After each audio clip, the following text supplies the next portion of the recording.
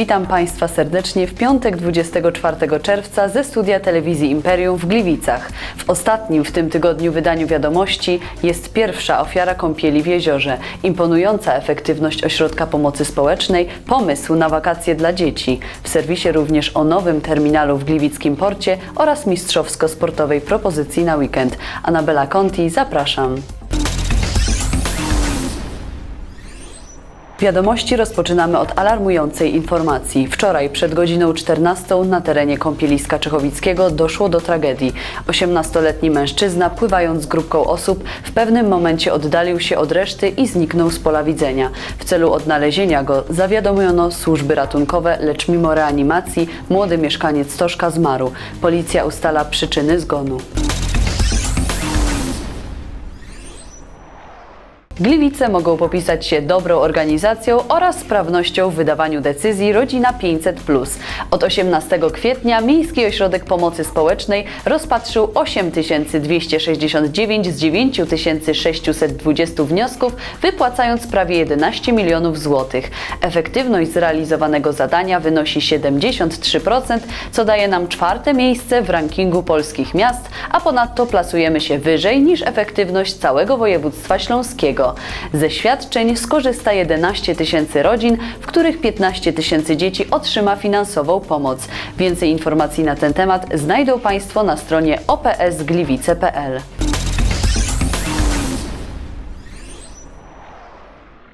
24 czerwca, dzień wyczekiwany i upragniony przez większość uczniów, ale i z pewnością też nauczycieli. Zakończenie roku, koniec zmagań edukacyjnych, początek wakacyjnej przygody. Aby przygodę tę urozmaicić, wiele z gliwickich szkół organizuje półkolonie dla przedszkolaków i starszych uczniów.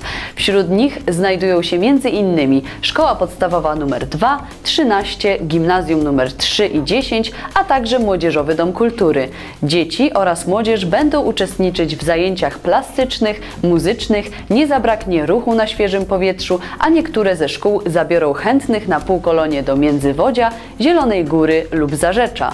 Pomysł jest rozwiązaniem dla zapracowanych rodziców, ale i świetnym wyjściem dla dzieci chcących połączyć przyjemne z pożytecznym.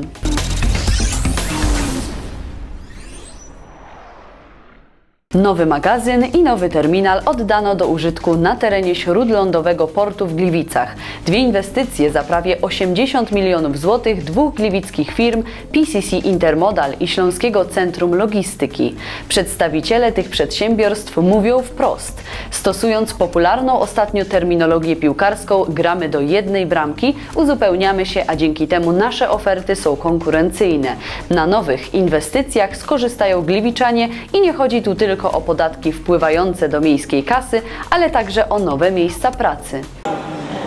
Wówczas na drodze jeździ czterech, przepraszam, przy 40 kontenerach 10 kierowców. Jesteśmy w Śląskim Centrum Logistyki. Poza otwarciem nowego magazynu, dzisiaj także otwarcie nowego terminala. Czemu on jest taki wyjątkowy?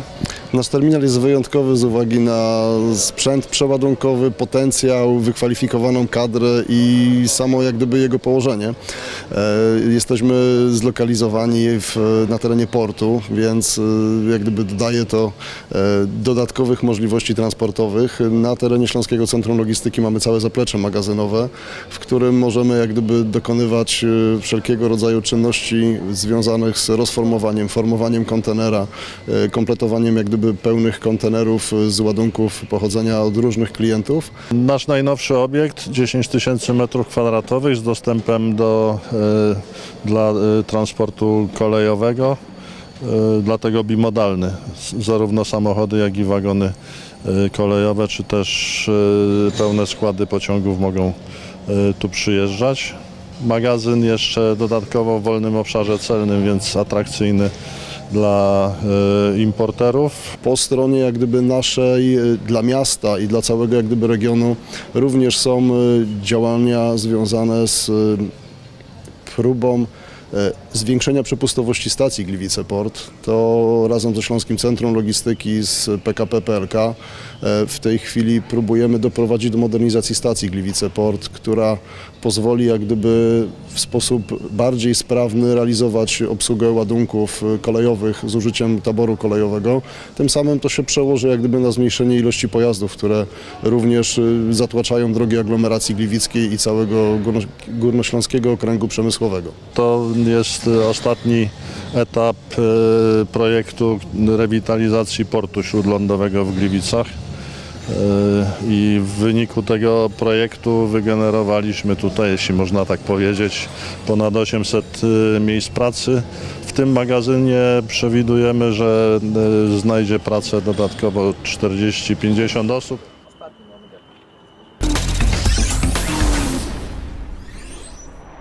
Po dwudniowej przerwie w Mistrzostwach Piłki Nożnej 2016 propozycja tenisowa.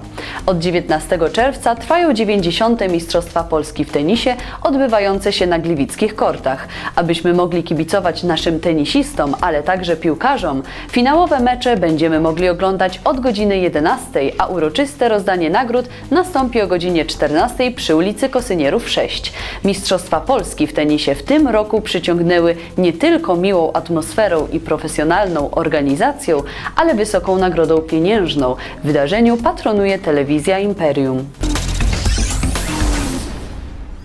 A nazajutrz w niedzielę szykuje się kolejne sportowe widowisko, tym razem w towarzyszeniu futbolu amerykańskiego.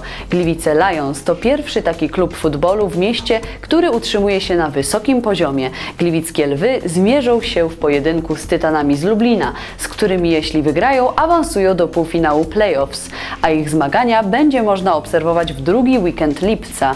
Niedzielne rozgrywki będą także pożegnaniem z sezonem zasadniczym Polskiej Ligi Futbolu Amerykańskiego. Pojedynek można oglądać o godzinie 14.30 na stadionie w Wilczym Gardle przy ulicy Niezapominajki.